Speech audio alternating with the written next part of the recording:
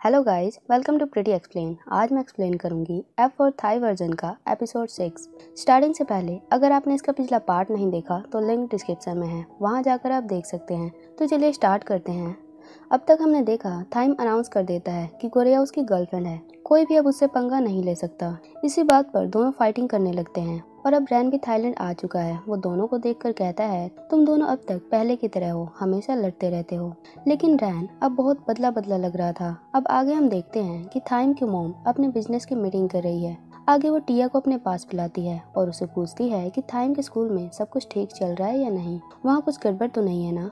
टिया उनको कहती है, ऐसा कुछ भी नहीं है। थाइम ने स्कूल को अच्छे से संभाल रखा है। वो हर चीज़ को अच्छे से मैनेज कर रहा है। अब उसकी मोम उसे कई पिक्चर्स दिखाती है, जो थाइम और कोरिया की थी, और पूछती है, क्या तुम इस लड़की को जानती हो? मुझे सच सच बताना। टिया वो पिक्चर देखकर कहती है, ये तो बस नॉर्मल सी पिक्चर्स हैं। थाइम किसी न किसी की हेल्प तो करता रहता है। मैं इस गर्ल को नहीं जानती। तभी वो अगले पेज पर देखती है कि वहाँ उसकी और गोरेया वाली पिक्चर भी होती है।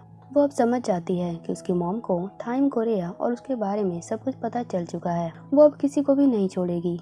अब उसकी मोम उसे कहती है, ये लड़की थाइम के कुछ ज़्यादा ही पास नहीं आ रही। तुम आज ही थाईलैंड वापस जाओगी और तुम्हें थाइम और कोरिया के किस्से को खत्म करना है। जिस चीज़ को जहाँ होना चाहिए, वहाँ उसे सेट करके आना थाइम की मोम बहुत कोल्ड हार्टेड है। वो कोरिया को उसकी गरीबी से जज कर रही होती है। वो नहीं चाहती कि कोरिया और थाइम साथ हो और कोई मिडिल क्लास गर्ल उनकी फैमिली का मेंबर बने। वो टिया को कहती है, याद रखना, मुझे थोड़ी सी भी चेंजेस पसंद नहीं है। सब कुछ मेरे हिसाब से मेरी मर्ज़ी से चलना चाहिए। आगे हम गोरिया को देखते हैं, जो फ्लावर शॉप पर होती है। वहाँ उसके ओनर उसे प्यार से कहते हैं, तुम्हें पता है ना ट्यूलिप फ्लावर फ़र्स्ट लव का सिंबल होता है, जो सबसे ज़्यादा रोमांटिक होता है। फ़र्स्ट लव में बहुत पेन बहुत सी यादें और रोमांस होता है। जो गोरिया तुम पर बिल्कुल सेट हो रहा है, क्योंकि रैन, तुम्हारा फ़र्स्ट लव अब वापस आ चुका है। उसके ऑनर और कैनिंग कोरिया को बहुत टीज कर रहे होते हैं। लेकिन कोरिया बहुत ही कंफ्यूज थी। वो उनको बताती है कि रैन अब पहले जैसा नहीं है। हम देखते हैं, जब रैन स्कूल में आया था, वो कोरिया से कुछ ज़्यादा ही प्यार से बात कर रहा था और कह रहा था, कहीं मैंने ज़्यादा देर तो नहीं लगा दी। गोरिया उसके बिहेव से बहुत कंफ्यूज हो गई थी और थाइम रैन को रोकते हुए कहता है, ज़्यादा मत सोचो गोरिया अब मेरी है, ये मेरी गर्लफ्रेंड है। और गोरिया थाइम से फिर से कहती है, मैं तुम्हारी गर्लफ्रेंड नहीं हूँ, तुम दूसरों को कंफ्यूज मत करो। रैन कोरिया को कंग्रेचुलेट करता है और कहता है, चिंता मत करो, मैं तुम्हारे और थाइम के लिए बहुत खुश हूँ। अब ये सारे फ्रेंड यानी एफ़ फोर पार्टी करने चले जाते हैं। रैन का बिहेव पहले से बहुत चेंज लग रहा था। इसीलिए कोरिया उसी टाइम से रैन के लिए परेशान थी। वो कैनिंग को कहती है, मैं क्या करूँ? मैं उससे मिलना चाहती हूँ। पूछना चाहती हूँ कि उसका सफ़र कैसा था। वो अब ऐसा बिहेव क्यों कर रहा है? कैनिंग उसे एक आइडिया देती है कि तुम रैन से उसके हैंकी देने के बहाने मिल सकती हो और जान सकती हो कि आखिर उसके साथ हुआ क्या है। वो पहले से अलग क्यों लग रहा है? अब कोरिया अपने फ़ोन में देखती है कि एफ़ के सारे मेंबर पार्टी करने में लगे हैं। उनके बीच रैन भी था और वो भी गर्ल्स के बीच एंजॉय कर रहा था। ये पहली बार था कि रैन इतना बदल गया। गोरिया तो सोच में पड़ जाती है कि रैन इस हद तक कैसे जा सकता है। कहा वो गर्ल से पार्टी से, इन चीज़ों से दूर रहता था। लेकिन अब वो अलग ही इंसान है। वो रैन को वहाँ देखकर बहुत हैरान थी। तभी उसका फ़ोन बंद हो जाता है, क्योंकि गोरिया का फ़ोन बहुत पुराना और टूट भी चुका है। अब आगे गुरिया अपने स्कूल के असेंबली में होती है। वहाँ वो बहुत ही परेशान दिख रही थी, क्योंकि उसका फ़ोन अभी तक बंद ही था। स्कूल के प्रिंसिपल वहाँ स्पीच दे रहे थे। तभी वहाँ आवाज़ आती है, गुरिया, मेरी गर्लफ्रेंड मीटिंग हॉल के साइड में जल्दी से मुझसे मिलो। गुरिया सुनकर हैरान थी। तभी वो देखती है कि थाइम सबके सामने स्टेज पर ये सब बोल रहा है। सारे स्टूडेंट्स की नज़र कोरिया पर थी। अब थाइम कहता है, तुम्हें सुनाई नहीं देता। देखो प्रिंसिपल को तुम वेट मत कराओ, उन्हें भी अपना काम करना है। जल्दी से मुझसे मिलने आओ।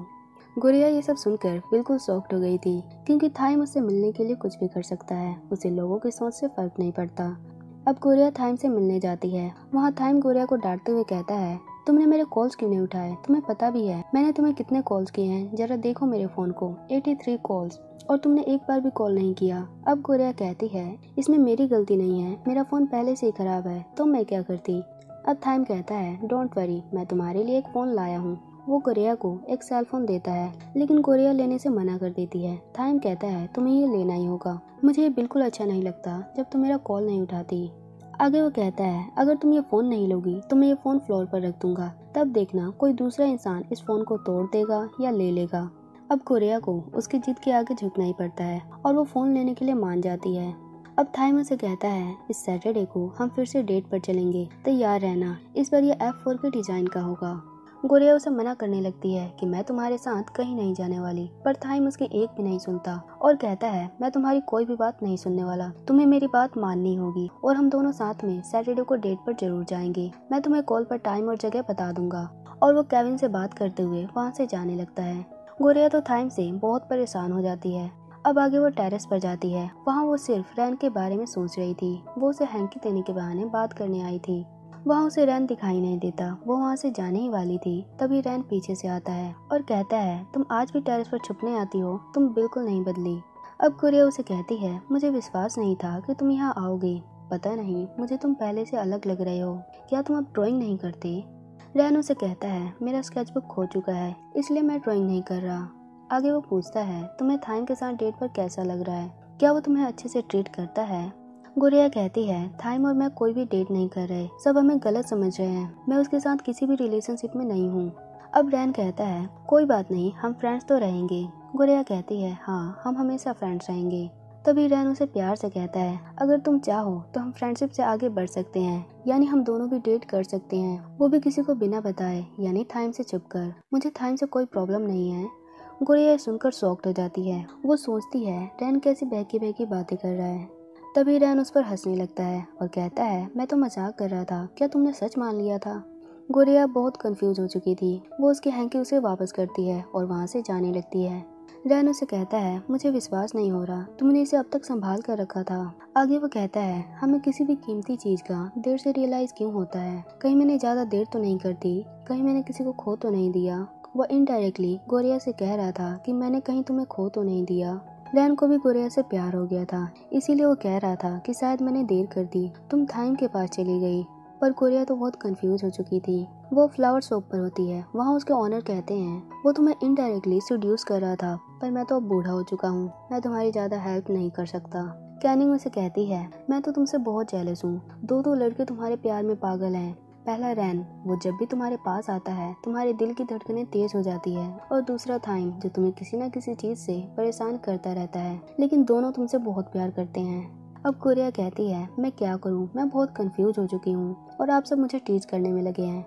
कैनिंग पूछती है तो तुम परेशान क्यों हो? अब गुरिया उन्हें बताती है, मैं किसी भी डेट पर नहीं जाना चाहती, लेकिन अगर मैं थाइम को मना करूँगी तो फिर से किसी मुसीबत में फंस जाऊँगी।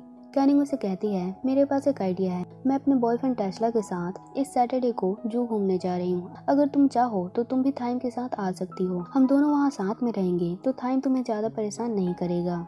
गोरिया को ये प्लान अच्छा लगता है। अब वो थाइम को कॉल करके ये सब बताती है। थाइम ये सुनकर बिल्कुल हैरान हो जाता है और कहता है, तुम भी बच्चों जैसी बातें कर रही हो। तुम कैनिंग के साथ डेट पर जा रही हो या मेरे साथ? और कोई डेट पर जू में घूमने जाता है क्या? वो भी एनिमल्स के बीच में। मैं ऐसी जगह कभी नहीं जा सकता।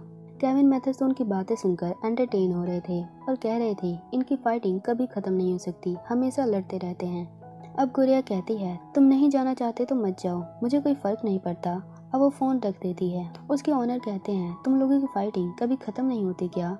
तभी थाइम कोरिया को फिर से कॉल करता है। शॉप के ओनर कोरिया को बबल सीट देते हैं और कहते हैं प्लीज़ थाइम से थोड़ा सा प्यार से बात करो। क्या पता वो मान जाए। और ये बबल सीट तुम्हारा गुस्सा उतारने में हेल्प करेगा। अब थाइम उसे कहता है, मैं तुम्हारे साथ चल सकता हूँ, लेकिन तुम्हें एक चीज़ करना होगा। गोरिया पूछती है, क्या? थाइम कहता है, मैं जो बोलूँगा वो रिपीट करना और मुझसे प्यार से रिक्वेस्ट करो, तभी मैं तुम्हारे साथ चलूँगा। अब कोरिया उसकी बातों को रिपीट करती है कि, मिस्टर थाइम, आप बहुत हैंडसम हो, सबसे कूल हो। क्या आप मेरे साथ जू में घूमना चाहेंगे? सब उनकी बातों पर बहुत हंस रहे थे, पर कोरिया बहुत ही गुस्से में थी। उसे ना चाहते हुए भी ये सब कहना पड़ रहा था। अब लास्ट में थाइम कहता है, मेरे लिए म्याऊ म्याऊ करो। गोरिया अपने गुस्से को कंट्रोल करते हुए बोलती है, म्याऊ म्याऊ। ये सुन थाइम को बहुत अच्छा लगता है। केविन मेथड तो कहते हैं, थाइम कभी नहीं सुधर सकता। वो गोरिया को कितना टीज कर रहा है। गुड़िया तो सोच रही थी, मैं भी कहाँ फंस गई। मैं इसके साथ कहीं जाना भी नहीं चाहती, फिर भी इसे साथ चलने के लिए मना रही हूँ, जो मुझे बिल्कुल पसंद नहीं है। अब रन थाइम को कहता है, अगर तुम गुड़िया के साथ नहीं जाना चाहते तो मैं जा सकता हूँ। वैसे भी जो घूमे हुए, बहुत दिन हो चुके हैं, पर थाइम उसे कहता है डोंट वरी मैं गुड़िया के साथ चला जाऊँगा। गुड़िया, अब तुम तैयार रहना।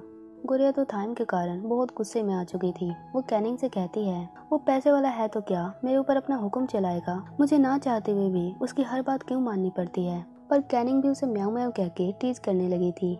अब आगे वहाँ थाइम की सिस्टर टिया आती है, जो गुड़िया को साथ में लेकर जाती है। गुड़िया उनको थाइम के बारे में सब कुछ बताती है और कहती है, पता नहीं, अब थाइम मुझे कितना परेशान करने वाला है। मुझे तो अभी से ही डर लग रहा है। टिया उसे समझाती है कि चिंता मत करो, सब कुछ अच्छा होगा। और अगर तुम्हें कोई भी परेशानी हो तो बेझिझक मुझे बता देना। मैं उसे सॉल्व कर दूँगी।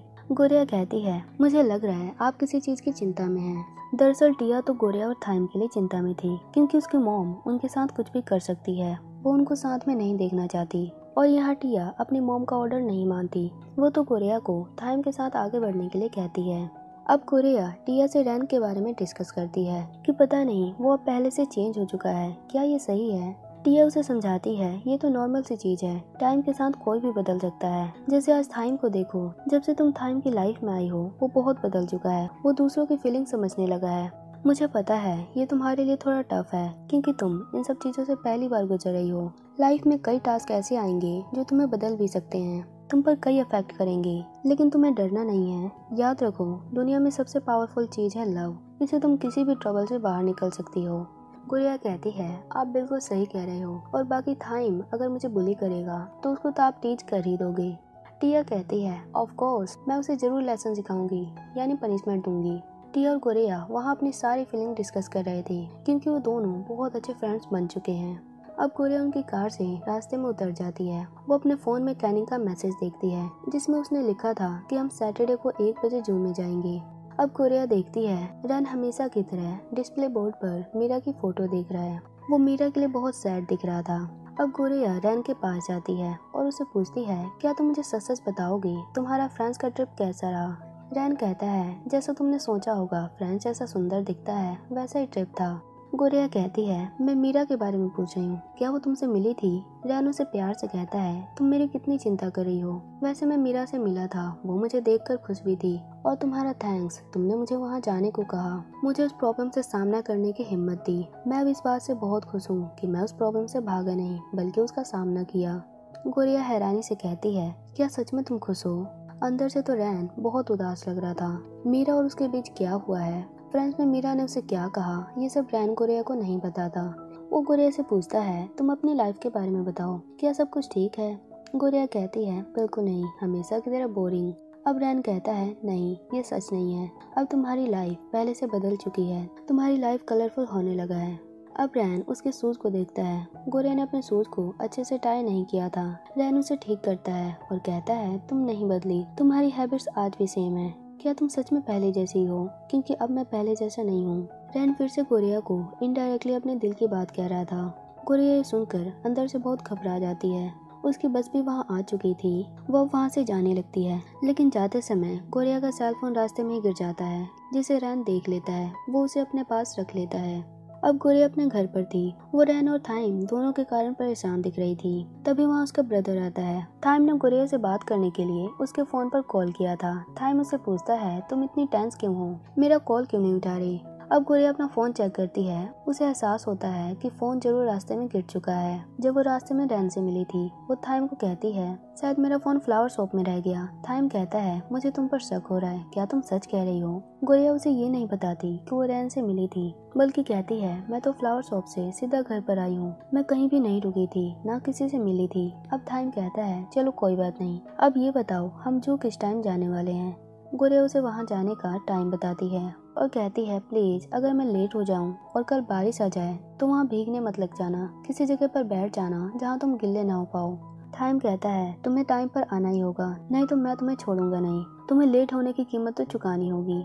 आगे गोरे अपने ब्रदर से पूछती है, तुम्हें ये नया फ़ोन कहाँ से मिला? उसका ब्रदर कहता है, ये मुझे थाइम ने दिया। मुझे क्या? मोम डैड को भी दिया है। गुरिया ये सुनकर चौक जाती है। वो और भी ज़्यादा परेशान हो गई थी कि थाइम मेरी और मेरी फैमिली की इतनी केयर क्यों कर रहा है? वो हमेशा क्रेजियस थिंक करता रहता है। अब पता नहीं कल क्या होगा। आगे हम रैन को देखते हैं, जो पेंटिंग कर रहा होता है, लेकिन वो बहुत ही उदास है और किसी चीज़ से बहुत परेशान होता है। तभी वहाँ थाइम आता है। वो जीव में कोरिया के साथ जाने के लिए बहुत ही एक्साइटेड था। वो रैन से पूछता है, मुझे बताओ, एक नॉर्मल इंसान कैसे कपड़े पहनता है? मुझे कौन सी ड्रेस पहननी चाहिए? ये ग्रीन वाली या व्हाइट वाली? थाइम ड्रेस के लिए बहुत ही कंफ्यूज था। वो कभी विंटर के तो कभी समर के कपड़े चूज़ कर रहा था। रैन उस पर हंसने लगता है और कहता है, तुम सच में बहुत ही एक्साइटेड हो। कोरिया के लिए कितने सीरियस हो? थाइम उसके पास जाता है और कहता है, तुम्हें क्या हुआ है? जब से तुम फ्रांस से आए हो, तुम्हारे चेहरे पर स्माइल मुश्किल से ही आती है। तुम्हारे साथ कुछ तो हुआ है जिससे तुम बहुत परेशान हो। लेकिन तुम अपनी परेशानी किसी को क्यों नहीं बता रहे? पर रैन उसे कुछ नहीं बताता और टॉपिक चेंज करते हुए कहता है, चलो मैं तुम्हारे लिए ड्रेस चूज़ करता हूँ। आगे जैसे ही रैन सोफे से उठता है थाइम वहाँ देखता है कि वहाँ कोरिया का फ़ोन रखा हुआ है। अब रैन थाइम से कहता है, चलो अच्छा हुआ, ये तुमने देख लिया। ये फ़ोन कल कोरिया से रास्ते में गिर गया था, जब वो मुझसे मिली थी। मैं इसे वापस करने वाला था, लेकिन अब तुम वापस कर देना। ये सुनकर थाइम को बहुत दुख होता है, क्योंकि कोरिया ने उससे झूठ बोला कि वो रास्ते में किसी से भी नहीं मिली थी। आखिर उसने सच क्यों नहीं बोला? अब हम कोरिया को देखते हैं। वो तैयार होने में बहुत कंफ्यूज हो रही थी, और वो कई सेफ्टी टूल भी अपने साथ रख रही थी, ताकि थाइम से बच सके। उसका ब्रदर उसे कहता है, तुम डेट पर जा रही हो, ना कि किसी वॉर में। आगे वो कोरिया को समझाता है, तुम नेचुरली बहुत खूबसूरत हो। तुम्हें किसी टाइप की मेकअप की ज़रूरत नहीं। गोरिया उसको थैंक्स कहती है। उसका ब्रदर कहता है, चाहे कुछ भी हो, अपने आप पर विश्वास रखना। तुम अपने आप ही कॉन्फिडेंस फील करोगी और ज़्यादा ओवर थिंक मत करो। अब दोपहर के एक बज चुके थे। थाइम जू में सबका वेट करा था। तभी कोरिया भी वहाँ पहुँच जाती है और उसे कहती है, कहीं तुम फिर से मुझ पर गुस्सा तो नहीं होना? क्योंकि मैं फिर से लेट आई हूँ। थाइम कहता है, बिल्कुल नहीं, मैं गुस्सा नहीं हूँ। थाइम गोरिया को देखता रह जाता है, क्योंकि वो बहुत ही ब्यूटीफुल लग रही थी। वो धीरे से कहता है, तुम्हारी आउटफिट यानी ड्रेस बहुत अच्छी है। गोरिया भी कम नहीं थी, वो उसे कई बार पूछती है, तुमने क्या कहा? एक बार दोबारा कहना। यहाँ बहुत शोर है ना, इसलिए मैं सुन नहीं पाई। थाइम उसे रिपीट करता है और गुस्से में कहता है, तुम चाहती क्या हो? पता है, मैं कितने देर से यहाँ हूँ और अब तक कोई भी यहाँ नहीं आया। गोरिया उसे शांत कराते हुए कहती है प्लीज़ इन चीज़ों के लिए मुझे माफ़ करना। कैनिंग और उसका बॉयफ्रेंड आते ही होंगे। और प्लीज़ आज यहाँ किसी पर भी गुस्सा मत करना। मैं कैनिंग को उदास नहीं देख सकती। वो मेरे लिए, मेरी सिस्टर की तरह है। थाइम कहता है, तुम्हें क्या लगता है? मैं एक पागल हूँ जो हमेशा लड़ता रहता है। गोरिया कहती है, तुम गलत समझ रहे हो। तभी कैनिंग और उसका बॉयफ्रेंड टेस्ला भी वहाँ आ जाते हैं। टेस्ला उनका मज़ाक बनाते हुए कहता है, तुम दोनों कौन सा गेम खेल रहे हो? एक दूसरे को समझाने में लगे हो। गोरिया, तुम्हारा बॉयफ्रेंड तो बहुत ही फनी दिखता है। एक्चुअली कैनिंग का बॉयफ्रेंड बहुत ही क्रेजी और प्लेबल टाइप का है। जो मन में आता है, वो बोल देता है, कुछ भी सोच समझ कर नहीं करता। अब कैनिंग उसको थाइम से इंट्रोड्यूस करवाती है। टाइम उसको हेलो कहता है, लेकिन टेस्ला उसे इग्नोर करता है और कहता है, रहने दो रहने दो। इन सब चीज़ों की ज़रूरत नहीं। अभी एंजॉय करने का टाइम है। चलो अंदर चलते हैं। वो कैनिंग को लेकर अंदर चला जाता है। थाइम उसके बिहेव से बहुत ही हैरानी में और गुस्से में था, लेकिन सिर्फ़ कोरिया के लिए वो वहाँ शांत था। गोरिया मन में सोचती है, पता नहीं अब यहाँ क्या होने वाला है, क्योंकि टेस्ला बार बार थाइम को नीचे दिखाने की कोशिश कर रहा था। अब आगे हम देखते हैं, चारों जू में एनिमल्स को बर्ड्स को देख रहे हैं और टेस्ला किसी न किसी तरीके से थाइम को टीज कर रहा है। वो कई बार तो कोरिया को टच करने की कोशिश करता है और थाइम अपना गुस्सा कंट्रोल करते हुए उसे रोकता है। जब वो बर्ड्स के साथ होता है, तब टेस्ला वहाँ शोर मचाकर थाइम को परेशान कर देता है। आगे थाइम जब आइसक्रीम खाता है तो वो बहुत ही गुस्से में दिख रहा था। कैनिंग कहती है, गोरिया, मैंने आज तक किसी को भी इतने गुस्से में आइसक्रीम खाते हुए नहीं देखा। अब कोरिया थाइम को सॉफ्ट टॉय दिखाकर उसका मूड ठीक करने की कोशिश करती है। थाइम कहता है, क्या तुम ये टॉय खरीदना चाहती हो? गोरिया कहती है, ये बहुत ही एक्सपेंसिव है, मैं ये नहीं ले सकती। थाइम कहता है, कोई बात नहीं, मैं तुम्हारे लिए पे करूँगा। तभी वहाँ फिर से टेस्ला आ जाता है और उसे टीच करते हुए कहता है, क्या बात है? लगता है तुम्हारे पास बहुत पैसा है। क्यों ना तुम पूरा का पूरा जू ही खरीद लो। थाइम कहता है, बिल्कुल सही, तुम बिल्कुल ठीक कर रहे हो। अब टेस्ला उस पर हंसने लगता है। कैनिंग जानती है कि उसका बॉयफ्रेंड थाइम को कितना छेड़ रहा है और थाइम बस कंट्रोल करे जा रहा है। वो अब अपने बॉयफ्रेंड को वहाँ से लेकर जाने लगती है और कहती है डॉल्फिन शो स्टार्ट होने वाला है, हम वहाँ जा रहे हैं। उनके जाते ही थाइम आइसक्रीम को मसल देता है और सॉफ्टवेयर पर अपना गुस्सा उतारते हुए कहता है, देखो, वो मुझे कितना टीज कर रहा है। क्या वो सच में स्मार्ट है? क्या मैं पागल हूँ? मुझे बताओ। गोरिया उस पर हंसने लगती है और उसे शांत करवाती है। आगे वो रिवर साइड पर आते हैं। वहाँ गोरिया थाइम से टेस्ला के लिए माफ़ी मांगती है और पूछती है, वैसे तुम्हें आज यहाँ घूमकर कैसा लगा? थाइम कहता है, तुम्हें फ्रेंड्स अच्छे से देखकर बनाना चाहिए। जैसे कि मैं, तुम्हें फ्रेंड्स चूज़ करने नहीं आते। वैसे अगर मैं टेस्ला को इग्नोर करूँ तो आज का दिन बहुत अच्छा था। मैं आज तक ऐसी जगह नहीं आया था। गोरिया उसे थैंक्स कहती है, क्योंकि वो उसके लिए आज इतना शांत है। उसने कोई भी फाइटिंग नहीं की।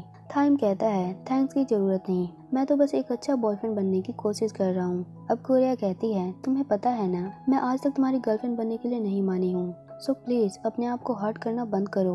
टाइम कहता है, मुझे पता है, अभी तुम्हारे दिल में मेरे लिए कुछ भी नहीं है, लेकिन मुझे विश्वास है कि एक दिन तुम्हारे दिल में मेरे लिए फीलिंग्स ज़रूर पैदा होगी और उस दिन मैं तुमसे पूछूँगा कि क्या तुम मुझसे प्यार करती हो, लेकिन अभी नहीं। इसलिए तब तक मैं कोशिश करता रहूँगा और तुम अभी जल्दबाजी में कोई भी डिसीज़न मत करना। मैं तुम्हारे जवाब का वेट करूँगा। अब थाइम और कोरिया साथ में सेल्फी लेते हैं। वे दोनों उस समय बहुत खुश थे। थाइम बार बार अपने कपड़ों की खुद ही तारीफ़ कर रहा था और कहता है रैन ने सचमुच मेरे लिए बहुत ही अच्छी ड्रेस चूज़ की है। उसकी चॉइस बहुत अच्छी है। ये सुनकर कोरिया को रैन की याद आने लगती है। अब थाइम कोरिया को उसका फ़ोन लौटाने ही वाला था। जैसे वो कहता है, कोरिया, तुम्हारा फ़ोन? तभी कोरिया कहती है, अरे, मुझे माफ़ करना। वो फ़ोन ज़रूर बस में रह गई होगी।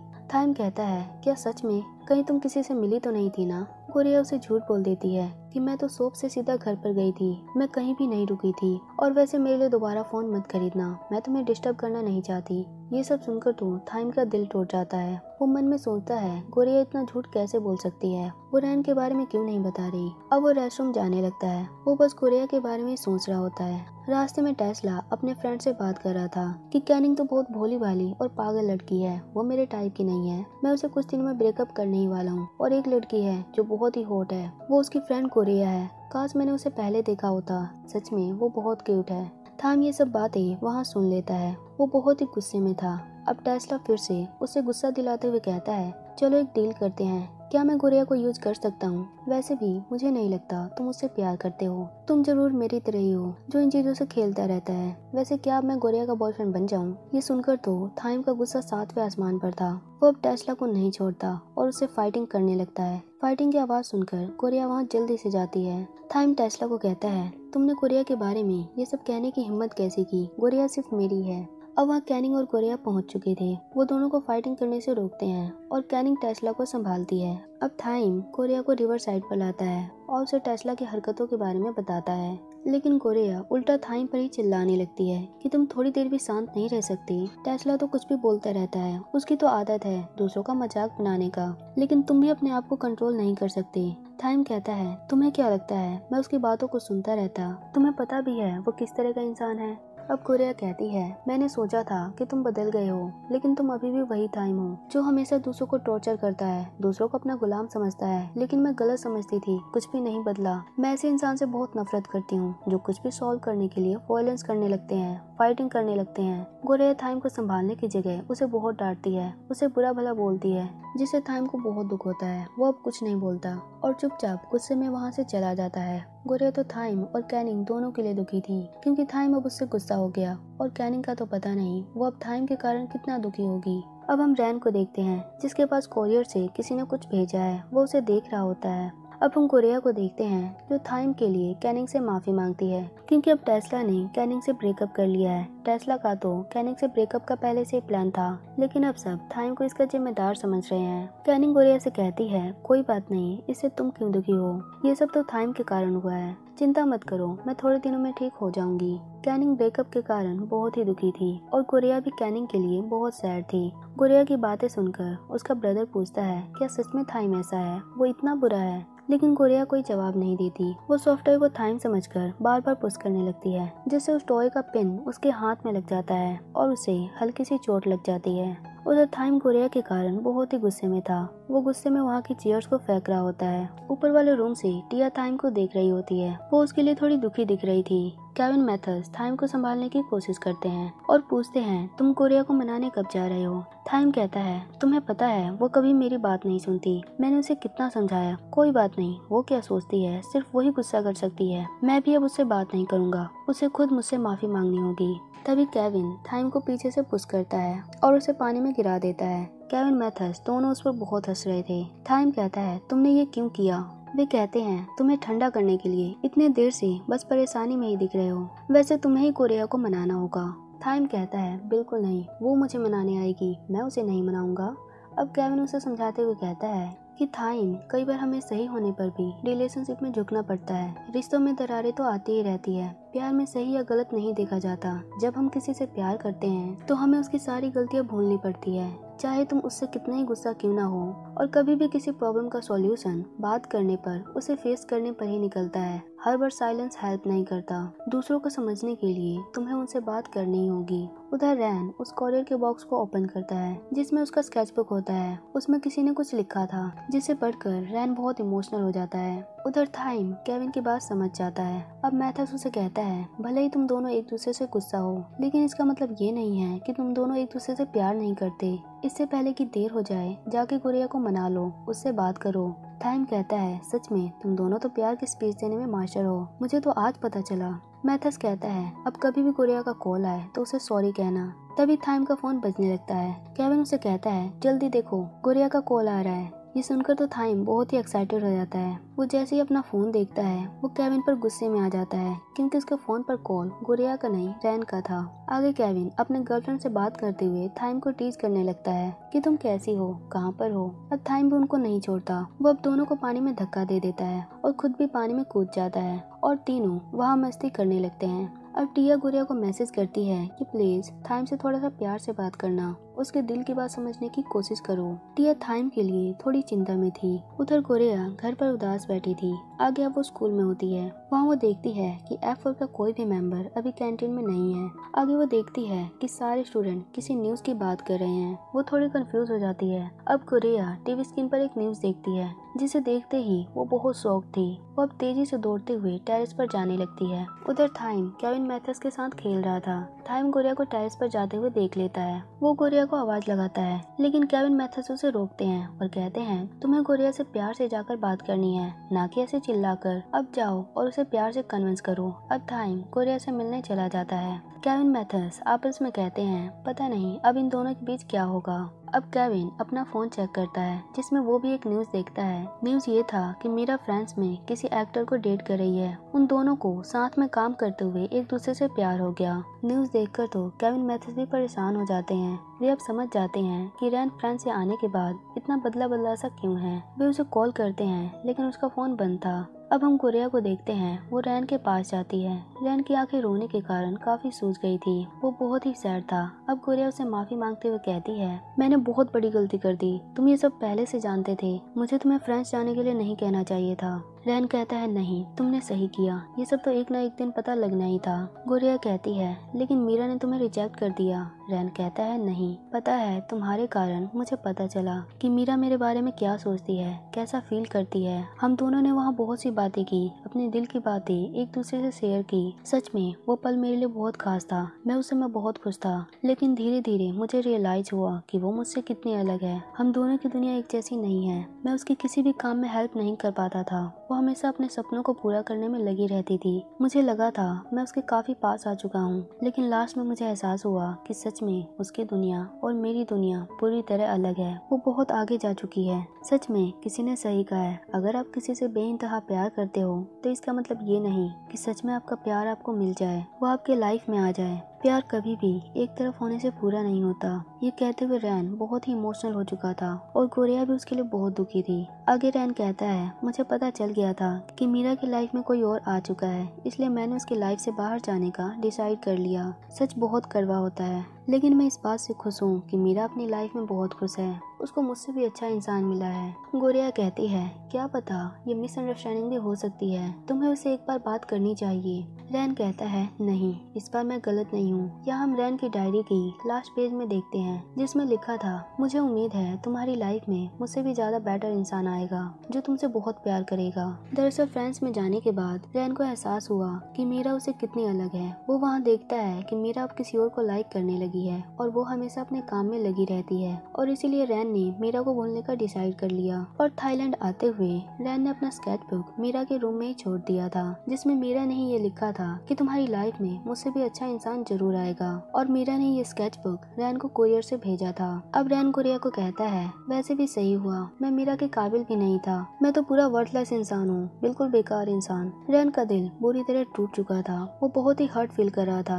अब कुरियर उसे डांटते हुए कहती है, तुम ऐसा क्यों कह रहे हो? तुम बेकार नहीं हो, तुम बहुत ही कीमती हो। तुम्हें एक इंसान ने रिजेक्ट कर दिया तो क्या हुआ? तुम अपने आप को वर्थलेस क्यों समझ रहे हो? तुम्हें पता भी है, तुम मेरे लिए कितने प्रेसियस हो। अगर उस दिन तुम मेरी हेल्प नहीं करते तो मुझे कौन बचाता? उस दिन मेरे साथ कुछ भी बुरा हो सकता था। अगर तुम नहीं होते तो मैं भी आज नहीं होती। पता है, जब मैं तुमसे पहली बार मिली थी, तब से आज तक तुम मेरे लिए बहुत ही खास हो। अगर कोई एक इंसान तुम्हें प्यार नहीं करता तो इसका मतलब ये नहीं कि बाकी सब भी तुमसे प्यार नहीं करते। कोई तुम्हें कुछ भी कहे, लेकिन तुम मेरे लिए बहुत ही कीमती हो। इसलिए प्लीज़ तुम ये दोबारा मत कहना कि तुम एक बेकार इंसान हो। कोई वहाँ रैन के लिए बहुत रोती है। वो रैन के लिए बहुत दुखी थी। वो अपनी सारी फीलिंग्स वहाँ उसे कह देती है। रैन उसे गले से लगा लेता है और कहता है, वैसे तुम मुझे संभालने आई थी, लेकिन मेरे कारण अभी खुद ही रोने लगी। अब रैन उसे संभालता है और चुप कराता है। वहाँ दोनों एक दूसरे को संभाल रहे होते हैं, क्योंकि दोनों ही बहुत दुखी हैं। आगे हम थाइम की मोम को देखते हैं, जिनके हाथों में ट्यूलिप फ्लावर होता है। वहाँ उनके मैनेजर उनसे कहते हैं, आपके हाथों में ट्यूलिप फ्लावर लगता है, आप अपना फ़र्स्ट लव नहीं भूली। उसकी मोम कहती है, नहीं। सब बस ट्यूलिप फ्लावर के एक ही साइड को देखते हैं कि ये फ़र्स्ट लव प्यार का सिंबल है।